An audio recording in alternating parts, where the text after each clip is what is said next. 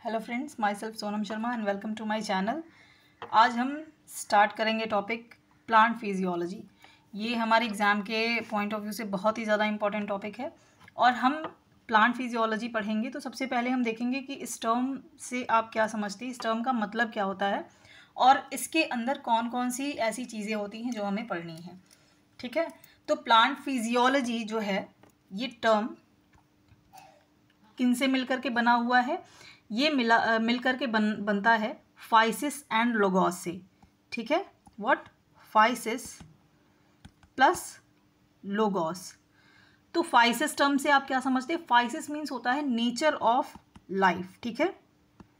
Nature of life and logos is study तो हम plant physiology पढ़ रहे हैं तो ऑब्वियसली हम प्लांट का जो नेचर है, ये कैसे अपनी लाइफ को एक्सटेंड करती है, उसमें क्या क्या एक्टिविटीज़ चल रही हैं प्लांट के लाइफ के अंदर, वो हम बेसिकली पढ़ते हैं प्लांट फिजियोलॉजी के अंदर।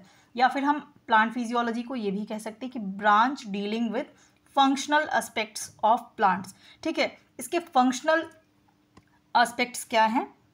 वो हम किसमें पढ़ते हैं? फंक्शनल एस्पेक्ट्स ऑफ़ प्लांट ठीक है? तो इसके बारे में जो हम स्टडी करते हैं प्लांट के इस हिस्से के बारे में, ये प्लांट फिजियोलॉजी के अंदर आता है, ठीक है? अब प्लांट फिजियोलॉजी के अंदर अगर इसकी हम शुरुआत कहेंगे किन साइंटिस्ट ने की थी या हम किन्हें पूरा का पूरा श्रेय देते हैं इस चीज़ के लिए तो स्टीफन हेल्स थे, जिन्हें फादर ऑफ़ प्लांट फिजियोलॉजी कहा जाता है, ठीक है? स्टीफन हेल्स को फादर ऑफ़ प्लांट फिजियोलॉजी कहते हैं। ठीक, ये भी एक बहुत ही इंपॉर्टेंट क्वेश्चन आपके एग्ज़ाम में बनता है। ठीक है, कि फादर ऑफ़ प्लांट फिजियोलॉजी कौन है? और फिजियोलॉजी टर्म का मतलब मैंने बताया physis plus logos physis means nature of life ठीक है? किसके टर्म में बात कर रहे हैं? प्लांट्स के टर्म में बात कर रहे हैं। And logos stand for study तो आपका बन जाता है बेसिकली हम कहेंगे plant physiology is the functional aspects of plants हम यहाँ पे इनके फंक्शनल एस्पेक्ट्स को पढ़ेंगे। ठीक है? आगे देखते हैं। तो जैसा कि हमने देखा कि प्लांट फिजियोलॉजी होता क्या है? ये लाइफ एक्टिविटीज़ जो प्लांट के अंदर होती हैं इसकी स्टडीज़ हम करते हैं प्लांट फिजियोलॉजी के अंदर। तो प्लांट फिजियोलॉजी के जो मेजर एस्पेक्ट्स हैं, जिन पर ये प्लांट फिजियोलॉजी डिपेंड करता है, या फिर जिन्हें प्लांट फिजियोलॉजी के अंदर हम देखते हैं, पढ़ते हैं, वो हैं क्या क्या आप सामने स्क्रीन पर देख सकते हैं फ़िज़िकल आस्पेक्ट्स जो कि किसके हैं? फ़िज़िकल आस्पेक्ट सॉयल के वाटर के एंड देन प्लांट रिलेशन ठीक है? इसके बाद में जो सेकेंड है फ़िज़िकल आस्पेक्ट मतलब समझ रहे हैं कि आप सॉइल के जितने भी फ़िज़िकल आस्पेक्ट्स हैं मीन्स उसकी क्वालिटी उसका नेचर उसकी टेक्सचर इन सब के बारे में हम स्टडी करेंगे देन वाटर के बारे में आ जाता है। और इसके बाद में प्लांट रिलेशन देन आगे हम बढ़ते हैं नेक्स्ट जो पॉइंट है मेटाबॉलिज्म तो मेटाबॉलिज्म डिवाइडेड होता है टू पार्ट्स में, जो कि एक है anabolism first and then catabolism तो एनाबॉलिज्म को हम कह सकते हैं कंस्ट्रक्टिव या फिर सिंथेटिक प्रोसेस ठीक है? यहाँ आप देख लीजिए एनाबॉलिज्म को हम क्या कह सकते हैं?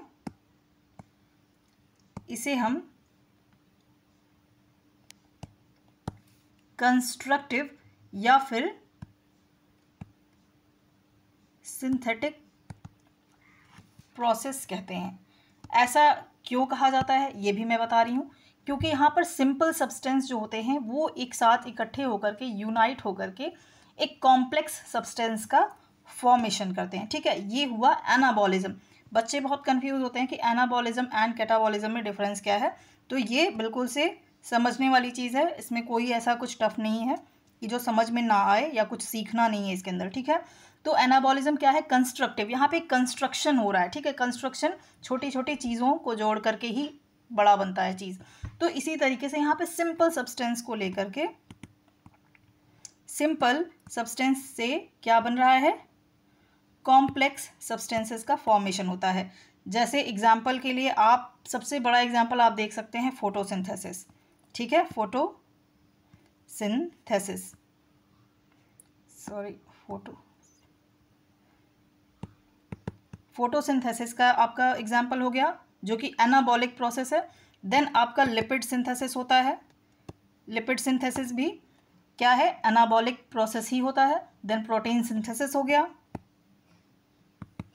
प्रोटीन सिंथेसिस हो गया। ये सारे कैसे प्रोसेसेस हैं? यहाँ पे सिंपल से कॉम्प्लेक्स सब्सटेंसेस का क्रिएशन हो रहा है या फॉर्मेशन हो रहा है, ठीक है? अब हम देखेंगे कैटाबॉलिक प्रोसेस क्या होता है? कैटाबॉलिक प्रोसेस हम कह सकते हैं डिस्ट्रक्टिव प्रोसेस होता है। यहाँ पे कॉम्प्लेक्स चीज़ें जो हैं वो सिंपलर फॉर्म में टूट रही हैं। जैसे कि रेस्पिरेशन में कॉम्प्लेक्स आपका सिंपलर फॉर्म में आ जाता है ठीक है? Complex substances then lipid break down होता है तो यहाँ पे जो कॉम्प्लेक्स लिपिड स्ट्रक्चर्स होते हैं वो uh, सबसे सिंपलेस्ट फॉर्म में टूट जाते हैं या ब्रेक डाउन होते हैं। प्रोटीन ब्रेक डाउन में भी आप यही देखते हैं कि कॉम्प्लेक्स स्ट्रक्चर प्रोटीन के वो सिंपलेस्ट फॉर्म में आते हैं ठीक है? इसी तरीके से बहुत सारे एग्जाम्पल्स हैं।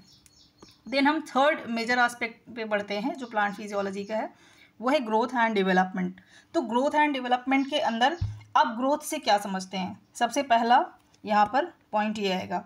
तो ग्रोथ क्या है? फाइनल एंड प्रोडक्ट जो अगर आपका प्लांट बॉडी के अंदर प्लांट स्ट्रक्चर के अंदर सक्सेसफुल तरीके से मेटाबॉलिक चीज़ें हो रही हैं मेटाबॉलिज्म बढ़िया है, चीज़ें अच्छे तरीके से हो रही हैं जो भी आपके एनाबॉलिक प्रोसेसेस हैं या कैटाबॉलिक प्रोसेसेस हैं वो अच्छे से सक्सेसफुल तरीके से हो रहे हैं तो आपका जो फाइनल एंड प्रोडक्ट है वो ग्रोथ के तौर पे दिखता है। ठीक है? ये क्वांटिटेटिव चेंज है। क्वांटिटेटिव मीन्स अगर प्लांट में ग्रोथ हो रहा है तो वो आपको विजुअली फिजिकली प्लांट में दिखेगा। इसको हम नाप सकते हैं। इसीलिए हम इसे क्या कहेंगे? क्वांटिटेटिव ठीक है? तो आ, ये इस तरीके का चेंज हो गया। अब इसके अलावा डेवलपमेंट क्या है? डेवलपमेंट इज़ ग्रोथ ठीक है? Which is accompanied by differentiation अब डिफ्रेंसीशन में हम क्या कह सकते हैं? यहाँ पे क्वालिटेटिव प्लस क्वांटिटेटिव चेंज आता है, जिसे हम डेवलपमेंट कहते हैं। डेवलपमेंट में क्या होगा? क्वालिटेटिव